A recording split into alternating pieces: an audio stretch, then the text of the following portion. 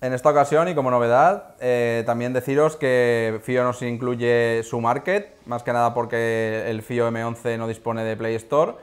Se llamará Applications, como veis en la parte superior. Simplemente yo lo que os recomiendo, si queréis instalar por ejemplo Spotify, de lo que os voy a hacer un pequeño tutorial, es bajar en primer lugar el APK Pure, ya que es como un market alternativo, donde nos vamos a poder bajar cualquier aplicación y además nos mostrará avisos cuando haya alguna actualización, la actualizará automáticamente, con lo cual no tenemos que preocuparnos de nada.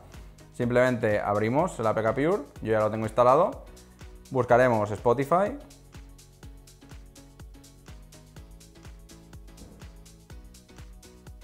Como veis, aquí tendremos ya Spotify, le damos a instalar,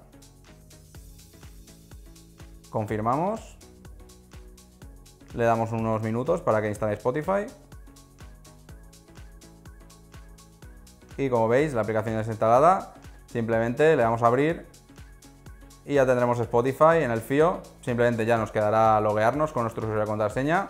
Como veis de forma muy fácil, no tendremos que hacer como en el M6 o en el M9 que teníamos que descargar las APKs manualmente, tenemos Markets a nuestra disposición para hacerlo vía online y de forma rápida, pero aún así si queréis bajar la APK y guardar la memoria e instalarla desde la memoria del FIO, también se podrá hacer. Con lo cual tenemos nuestras aplicaciones a mano, aquí como veis también tengo Tidal. Y luego en el box pues tendría Spotify que la he descargado anteriormente.